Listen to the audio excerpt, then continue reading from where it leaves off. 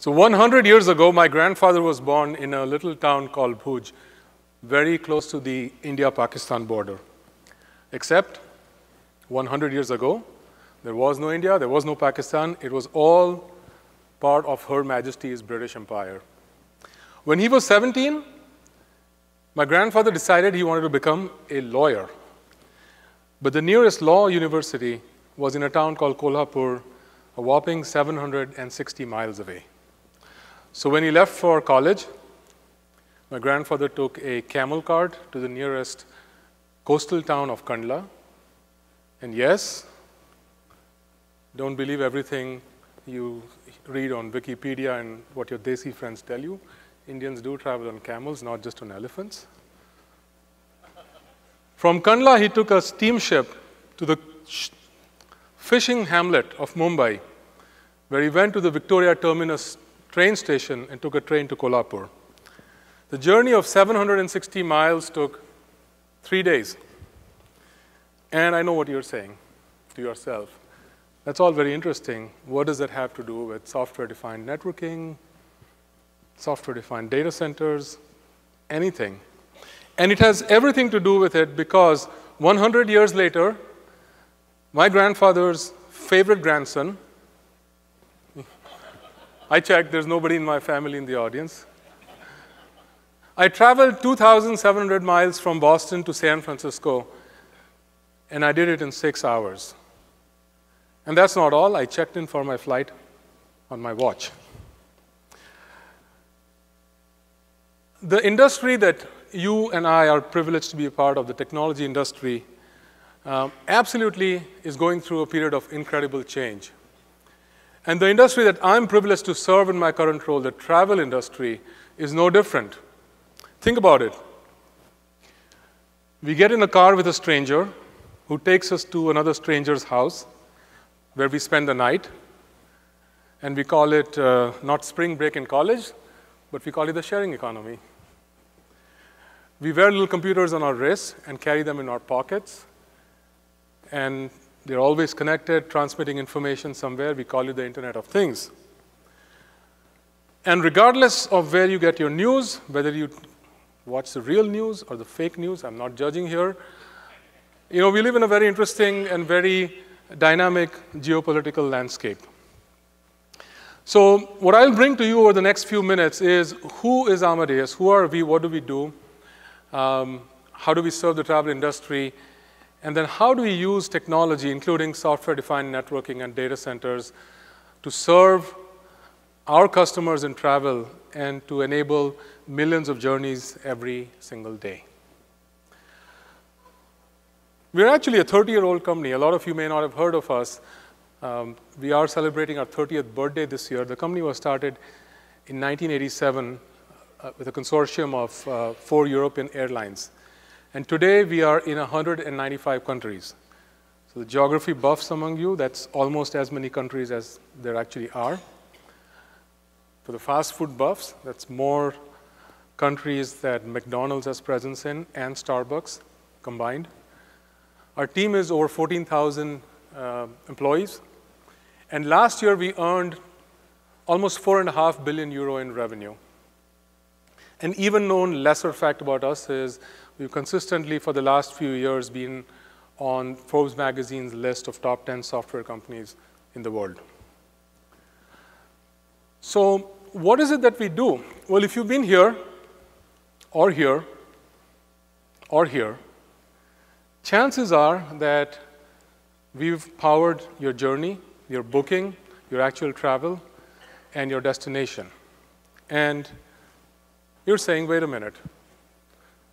I look for flights on Kayak, I book them on Expedia or American Express, I stay at a Holiday Inn, I fly Southwest or American Airlines. What does Amadeus have to do with it? Well, all of those plus about 50 other well-known travel brands in North America are customers of ours. And not only that, if you look at it globally, we have thousands more. We have 90,000 travel agents that use our platform. We offer content from 700 airlines, over 700 airlines in the world. You can look for flights and, and book them on our system. We work with over half a million hotels, 200 airports, and ground handlers. And to give you a little idea of what does that actually mean, you know, we last year we did about 600 million reservations. That comes to, you know, on some days we did four, four to five million reservations. So reservation, or in the industry as it's known as a PNR, a passenger name record, is basically your record of a trip that includes flights, could include hotels, rental cars. My guess is those of you that have traveled here from, from out of town, you know, you had a, a booking and you had a booking reference. And if you look closely at that, there's very, um, there is a, at least a 50% chance that uh, your actual trip was recorded in Amadeus. We also have a very strong airline business where we do departure control, flight management, and a whole host of other systems for the airline industry. And we do this for over 175 airlines. And to give you an idea of the scale there, uh, we had 1.4 million 1.4 billion, I'm sorry, passengers that boarded flights last year using our, our platform.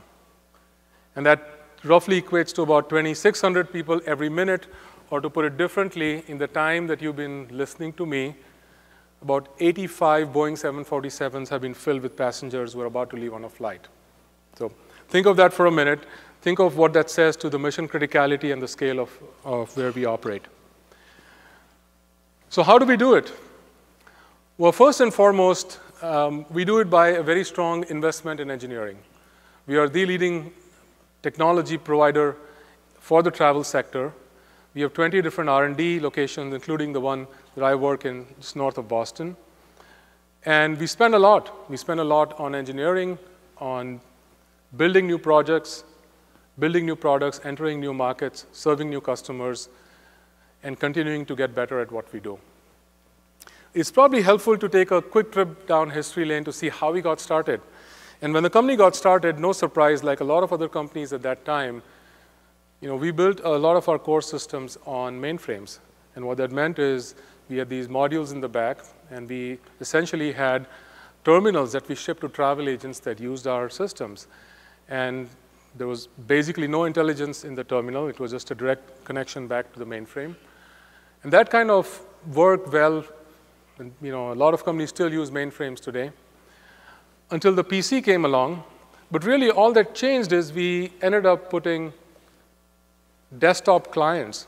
So there was a better interface for our users. In some cases, users still preferred and were proficient in the old systems, and we just put a terminal emulator. And then the web came along. And that's actually a, a screenshot of a Yahoo travel page back, back from back in the day. And when these changes started happening, we obviously had to keep evolving. And we built APIs. We started working with the very early browsers of the day. Then, of course, you heard from uh, our friends at AT&T this morning, and 10 years ago, as Mr. Jobs famously said, you know, this changes everything. And it did change everything. You, you heard how much more traffic the carriers have had to deal with in the last 10 years. For us, what it also meant is we saw a lot more B2B transactions. A lot more websites came up offering travel options, and they were not connecting to us like before with human beings sitting on terminals, because obviously there's a limit to how fast somebody can type and the number of transactions we get.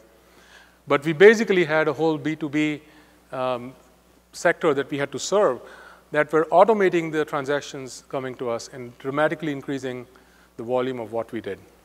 So our architecture about this time, about five to, to six years ago, looked something like this, a very standard, what I would call SOA architecture, we had a services integrator that essentially was a front end and messaging broker. Uh, we served a variety of channels. And then we had a lot of backends that did very specialized functions you know, for the travel industry. You see their names out there, all supported by different databases. I mean, all in all, we're talking about 5,000 microservices. We didn't call them microservices necessarily back then. About 1,500 databases. And we were doing a peak of about 80,000 transactions per second. It's the kind of volumes that, that we are working with. And to power all of this, we had world-class infrastructure. That's a picture of our uh, data center in the town of Erding in Germany, right outside Munich airport. And it's a data center that was purpose-built to serve us and our customers. Because again, 30 years ago, there were no general purpose data centers that you could rent out that would do everything you needed. So this is one of our largest, or this is the largest data center. We have a host of other data centers all across the world, including a couple here in North America. And we are pretty used to operating, again, you know, at very large scale, even on the infrastructure side. We have close to 20,000 infrastructure devices,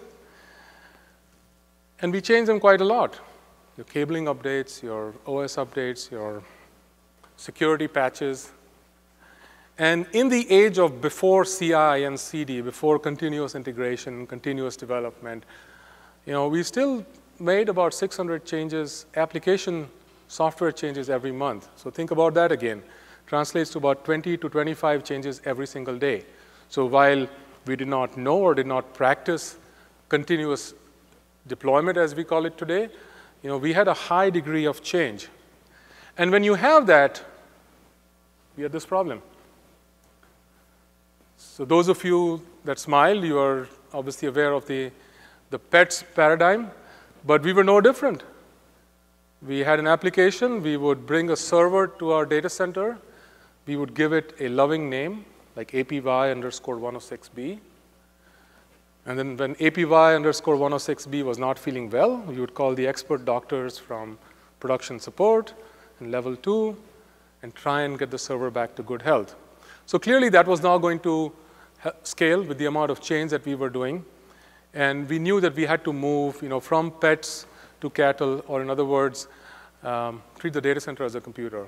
So the first step in our journey was really to decouple what should run from where it should run. And to do that, um, these were our two trusted partnerships that we, and, and tools that we worked with.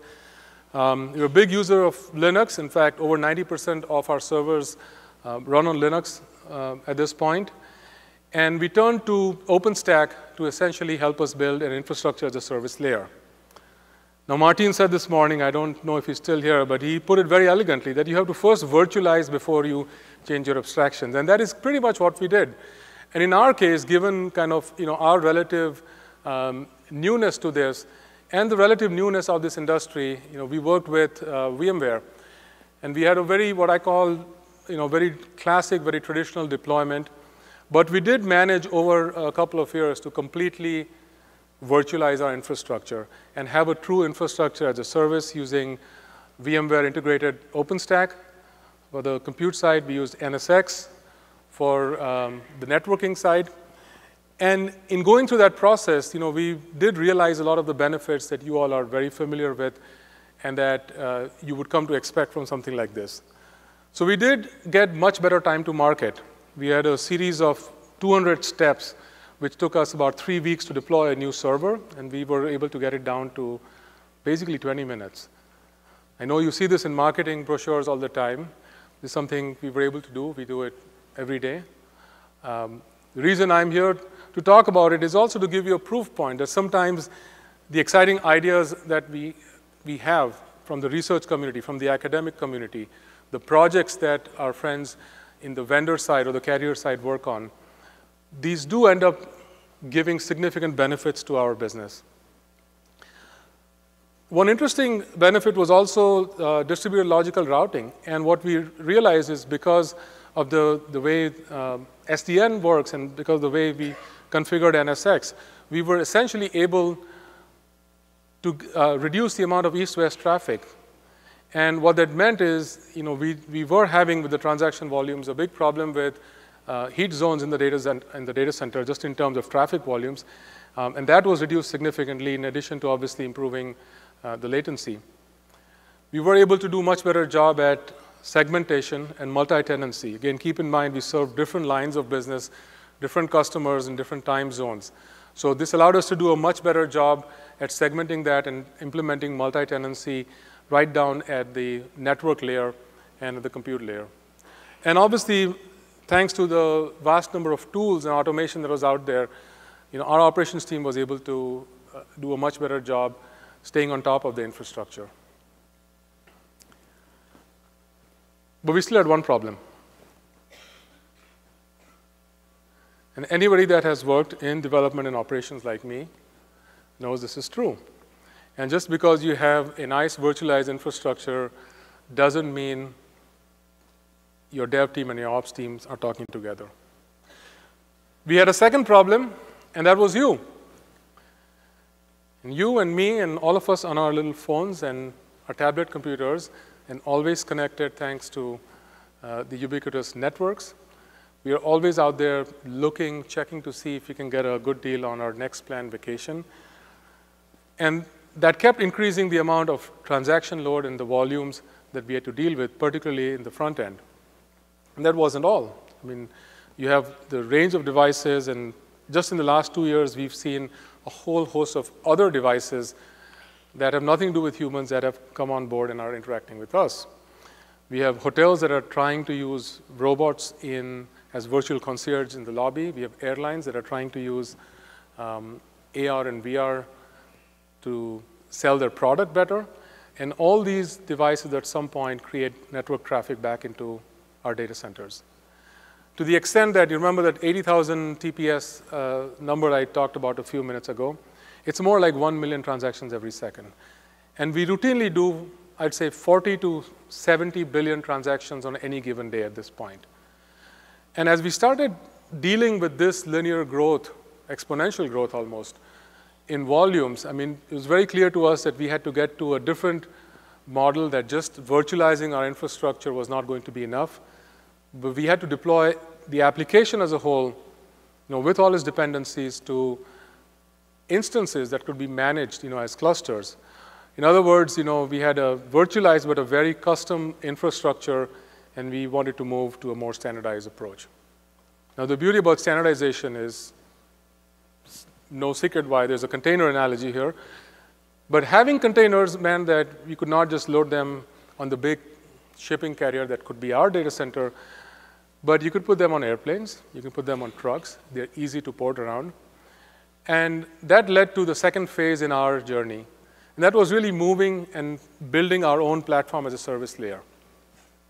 We very cleverly call it the Amadeus Cloud Services. And to do this, we have uh, been working with Red Hat and OpenShift.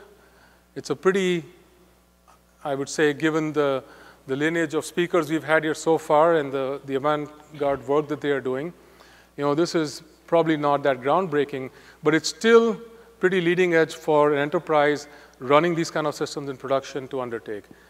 And our approach has been to use Docker to uh, containerize our applications and then use Kubernetes from Google for the deployment, the scaling, and the management of uh, those containers. So very quickly, the way it works, if you're familiar with Kubernetes, this will just be a quick recap for you.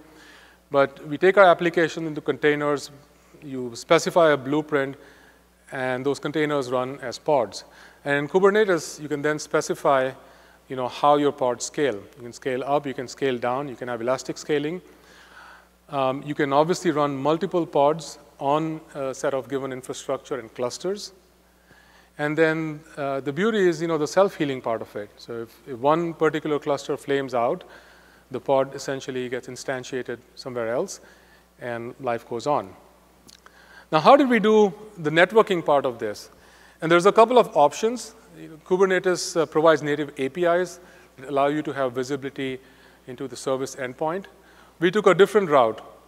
And if you go back to the, the thousands of microservices we have, what we have been doing, and I say doing because this is the journey we are, we are on, we have launched parts of this into production, and every month, every quarter, we have a roadmap where we are bringing more and more applications and services into this paradigm. But basically, you take a number of pods uh, that form a single service in our case, and what we use is we use a Kubernetes mechanism that allows each service to essentially have its own IP address and its own port. And then we, of course, have multiple services. So the way it ends up looking like each service gets its own IP, its own uh, port, and then each node that that service is running on basically has you know, a local proxy that maintains the topology, it maintains uh, the changes in the IP table, and that allows the service distribution to happen very easily and happen automatically. So basically, you know, if a service is running on a certain set of nodes, and for whatever reason, for elasticity or for, um, for continuity purposes, that service, the red one in this case, were to move, um, the redirection pretty much happens on its own. So what we are definitely doing is working with industry leaders, working with techniques that have a reasonable chance or have been proven to work in production. So I'm not going to stand here and say we are, we are coming up with new ideas to do this, like Martin talked earlier or Amin talked earlier. But we are definitely following a model of very close partnership and very rapid iteration to make sure that we can actually scale these, not just in production, but to work in mission critical applications like we do and at the scales that we do. So our platform as a service has been in production now for about a year and a half. And I mean, some of the things that we've obviously benefited from, one, the first one has been, it's been a tremendous benefit to our developers because we've no longer had to restrict them or no longer tied their application environment choices to the infrastructure we are going to have. So we essentially have given them the freedom to build applications in the languages, in the methodologies they are comfortable with.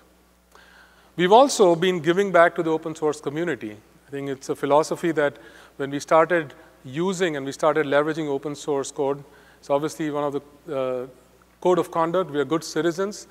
And um, I'm thrilled to say that there have been several key modules in the OpenShift community, in the Kubernetes community, and in several other open source communities that are not networking related, where our engineers have not just been using open source, but contributing back you know, peer-reviewed code modules back into uh, these forums.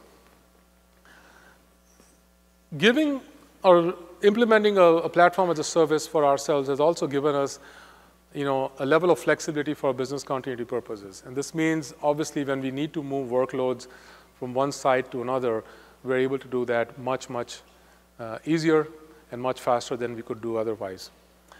And finally, this is important. Arpit was kind enough to give you a little flavor of my background, and I've worked both on the, the vendor side, I've worked in other enterprise roles, I've worked for a, a carrier, and this whole concept of hybrid cloud has been around for a long time. I think what, what I'm really thrilled about the way Amadeus has implemented you know, our technology roadmap and vision is the fact that we actually have implemented the hybrid cloud model. It's not a theory, it's not something you know, that we say we will do, but you know, we do a little part of it. Uh, this is something we have in production today. It looks a little bit like this. You know, we work with the, all three major public cloud platforms. And essentially what we did is we took our infrastructure and made it a private cloud. So a lot of our, our critical data and infrastructure still very much resides on-prem in our, in our data centers. But we are now giving our customers the choice to run certain parts and certain applications, you know, either in their data centers or on a cloud provider of their choosing. So by getting that platform as a service layer, you know, we are able to essentially truly abstract the applications we provide from the infrastructure that, that it runs on. And a good example of that, this is on our website. Uh, you can go look it up if you're interested. Something uh, we do for the airlines is the airline availability uh, application that we have. And we have this again in production uh, with a bunch of airlines where we do revenue management, the inventory, kind of all the algorithms that go behind um, the calculation of, of flight availability. And we run this in our data center, but we also distribute that availability algorithms um, and databases on multiple uh, cloud locations. And we're able to do this, you know, thanks to our platform as a service that we built with, again, with OpenShift and using Kubernetes so that uh, we can peacefully coexist, you know, with multiple cloud providers for the sake of our, our customers and our business. So some uh, quick closing thoughts. I'm going to share some of uh, my observations and, and what's worked. Going to channel my inner Yoda here, you know, do or do not. I think a lot of times companies do get stuck into should we do this, should we not do it, is the technology ready, is it really going to give us the benefits? It is very easy to just be in that mode and not take the next step. And I think what we have found is having good, strong leadership and a good, strong internal vision is very important because it gives our teams the flexibility to go down a, an uncharted path to some extent. It gives them the freedom to work with industry leaders. and to work in a model where we can partner together to solve a lot of common problems together. It is a brave new world, especially when you talk about DevOps. And when you have teams that have been working in very specific, you know, siloed mode to some extent, you know, it's very hard to be in this shared responsibility and this continuous integration, continuous deployment of code model. And it is something you have to, as an organization, really encourage and nurture. And speaking of nurturing, I think it's equally important, you know, the kind of culture you have for your engineers. And we are, again, very fortunate that our engineers are a very curious bunch. They like to find out what's going on. They challenge themselves, even if nobody else is, is doing so. And they bring new ideas and new approaches to us constantly. Um, and in doing so, probably the last kind of uh, takeaway I would say is remember the why. You know, we are not a uh, well-known research institution like uh, some of uh, you represent here. We are not a maker of equipment like others of you here are. We are very much users of the brilliant thinking you do and uh, the innovative engineering you do in bringing uh, solutions to us. But the reason we do it and the reason the software-defined strategy is so important is it does allow you, at the risk of sounding a little uh, marketing-like, you know, you do hear all this, and which is Focus on business innovation. The more our teams are able to less worry about the infrastructure and scaling up the infrastructure and doing so automatically and doing so reliably, the more we are able to actually focus on specific problems that our industry and our customer is facing. We did something at South by Southwest uh, with a customer of ours, United Airlines, where you're watching a movie and you, you are interested in a location, you can pause and you can check details about where that was filmed, and you can look at travel options uh, to get there. But what I'm um, proud of really even more is just something our team did last month. And this is a good example of how you can free up your teams to do more creative, innovative thinking. And it's a small team that essentially came together. You know, I come from Boston, where the weather is slightly you know, different from here, let's put it that way. And we were going through uh, some pretty rough weather days, and we said there must be a way in which we can give better tools to our travel agency customers. So we worked with a uh, startup in uh, the Boston area, and literally over a period of a few days, we were able to ideate and come up with a uh, solution idea that is going to be good for our customers, going to be good for our business, but most importantly, it'll be good for all of you as travelers. So let's take a quick look at that, and after that, we'll do questions. Thank you.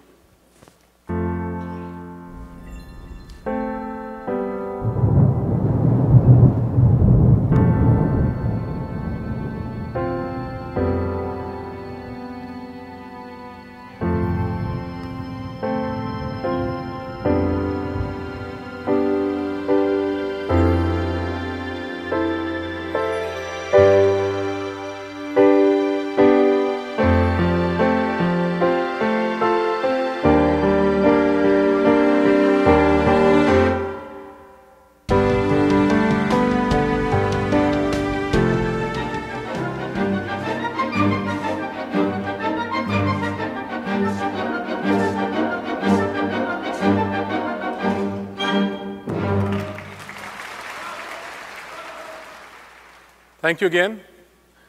By the way, just interesting aside, that video is also made by three of our engineers.